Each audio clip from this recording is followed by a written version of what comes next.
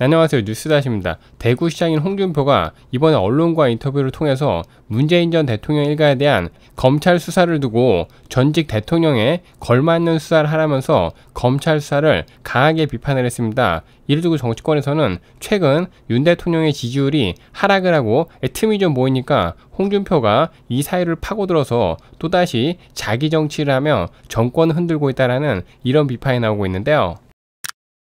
네, 먼저 이번에 홍준표는 추석 연휴 기간에 박재홍의 한판 승부라는 라디오 방송에 출연을 해가지고 현재 문재인 일가를 향한 검찰 수사에 대해서 전직 대통령을 잡아 넣으려면은 수사 비례의 원칙은 좀 지키고 그럴듯하게 좀 했으면 좋겠는데 지금 원전 폐기 문제라든가 김정은한테 판문점 USB 넘겨줄 때 국가 기밀이 넘어갔나 안 넘어갔나 그런 문제도 있다면서 그런데 그런 문제들을 다 묻어버리고 지금 할 게 없어가지고 딸한테 5천만 원을 줬네 안 줬네 그런 것들을 압수수색을 하고 그런 거를 쳐다보면서 저거는 검사가 할 짓이 아니라고 비판을 했습니다. 네, 그러면서 이번 수사는 경상도 사투리로 꼴잡하다라고 말하면서 다시 말해서 치사하고 야비하다며 현재 문재인 집안을 향한 검찰 수사를 비판을 했는데요. 하지만 홍준표 해당 발언에 대해서 황당하다라는 지적이 쏟아지고 있으며 홍준표가 얼마나 부자이고 돈이 많은지는 모르겠으나 홍준표 입장에서는 뭐 김정숙이 문다에게 돈을 5천만 원 쿠션을 쳐가지고 보낸 것이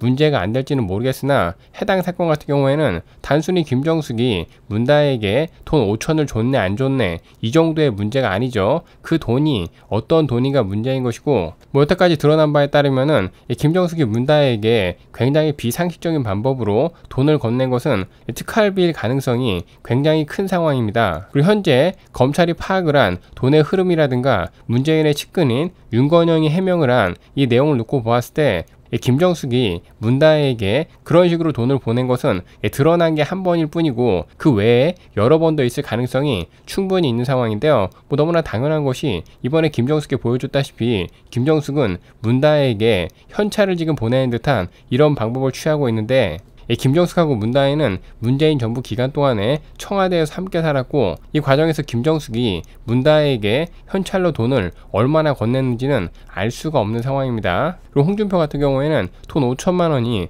무슨 애들 장난인 것처럼 지금 이야기를 하고 있는데 돈이 5천만 원이든 50억이든 그거 전부 다 세금입니다. 거기서 한 푼이라도 부적절하게 사용을 했고 공적으로 사용을 해야 되는 돈을 자기 딸내미에게 몰래 보낸 것이라면은 이건 뭐 5천만 원이 아니라 50만 원이라도 문제를 삼는 것이 너무나 당연한 것인데 이거를 가지고 홍준표는 뭐 이게 뭐 짜친다는 듯이 이런 식으로 이야기하는 것은 현직 시장인 홍준표의 공직자 마인드에 뭔가 문제가 크다라는 것을 보여주는 대목인데요. 그리고 실제로 홍준표 같은 경우에는 과거 특활비를 자기 집에다가 생활비로 갖다 줬다라고 이야기해가지고 논란이 된 적도 있었는데 홍준표 본인이 국민 세금을 그런 식으로 사용을 했던 사람이라서 그런지는 모르겠으나 문재인 집안에서 뭉치돈을 딸내미에게 저런 식으로 건네준 것에 대해서는 전혀 문제의식을 느끼지 못하고 있는 것이 아닌가 뭐 이러한 생각이 듭니다. 또 이뿐만이 아니라 홍준표는 돈 5천만 원을 건넨 것이 전부인 것처럼 이야기하고 있는데 절대 그렇지 않은 상황으로서 현재 검찰이 파악한 문다의 계좌에 돈의 흐름을 보면은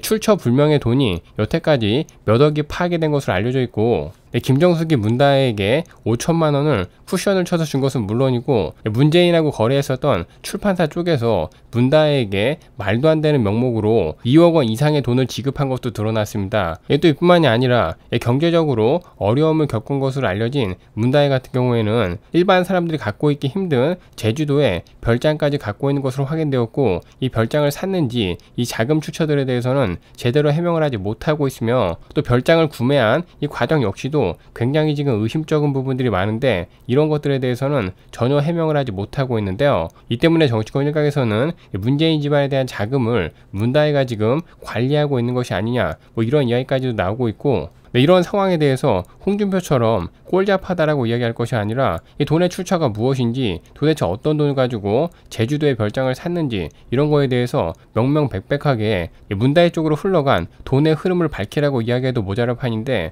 이거를 가지고 한때 보수 진영의 대권 주자였던 사람이 그리고 현직 공무원이라는 사람이 검찰 수사에 힘을 실어주지는 못할 망정 꼴잡한의 모네 이딴 이야기를 하면서 검찰 수사에 힘을 빼는 것은 굉장히 부적절하다라는 지적이 나올 수밖에 없는데요. 그리고 또 이뿐만이 아니라 해당 사건 같은 경우에는 문재인 집안의 돈의 흐름도 흐름이지만은 문재인이 현직 대통령 시절에 이상직이라는 정치인과 정치적 거래를 했을 가능성에 대해서도 밝혀야 되는 사건이고 해당 사건 같은 경우에는 현직 대통령이 정치적 거래를 통해서 본인들 집안의 이득을 위해 매간 매직을 했을 가능성이 있는데 이거를 지금 작은 사건이라고 이야기할 수 있습니까? 이게 만일에 사실이라면은 문재인은 대통령으로서 자격이 전혀 없는 사람이었고 특히나 문재인 정부의 사람들 같은 경우에는 현재 윤석열 대통령의 부인인 김건희 여사 관련해서는 결혼하기 전에 있느니까지도 싹 다 털어가지고 그에 대한 책임을 윤 대통령에게 지라라고 하고 있는데 문재인 같은 경우에는 현직 대통령 시절에 자신의 딸을 위해서 검은 정치적 거래를 했을 수도 있는데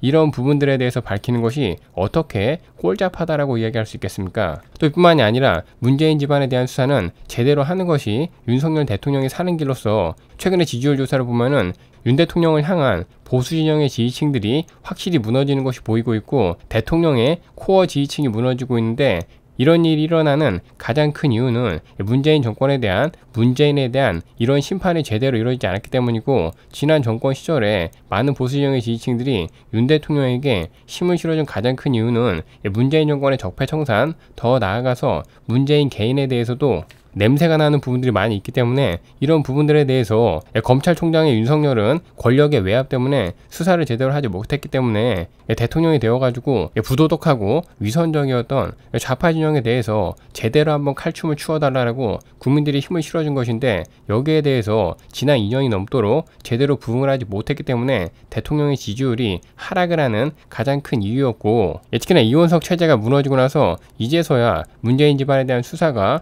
조금씩 시도 시동이 걸리고 있는 상황인데 이거를 지금 보수 진영에서 중진 정치인인 홍준표가 이런 식으로 힘을 빼려고 하는 것은 뭐 도저히 이해할 수도 없고 부적절하다라는 지적이 나올 수밖에 없습니다. 나또 홍준표 같은 경우에는 최근에 윤 대통령의 지지율이 많이 하락을 하고 있고 코어 지지층들이 무너지고 있으니까 이 틈새를 벌리고 들어와가지고 자신이 현재 정치 권력을 잡고 있는 정부 여당과는 다르게 큰 정치를 하는 사람이다. 뭐 이런 식으로 꼴잡한 정치를 하는 사람이 아니다. 이런 메시지를 내면서 본인 스스로를 부각을 시키고 스포트라이트를 받으려는 그런 모습인데 솔직히 굉장히 기회주의적인 모습이라고 볼 수가 있으며 예, 그래도 홍준표는 보수 진영에서 큰 어른에 속하는 정치인이고 또 차기 대권을 꿈꾸는 정치인 중에 한 명인 만큼 이렇게 정부 여당이 어렵고 이렇게 대통령이 국정 운영에 어려움을 겪고 있고 보수 진영이 어려움을 겪고 있을 때 본인의 정치적 이익만 생각을 하면서 검찰 수사를 흔들고 정권을 흔들기보다는 검찰 수사에 힘을 실어주고 정권에 힘을 실어주는 그런 메시지를 내야 할 때라고 생각이 됩니다. 이번 소식은 여기까지 하겠습니다.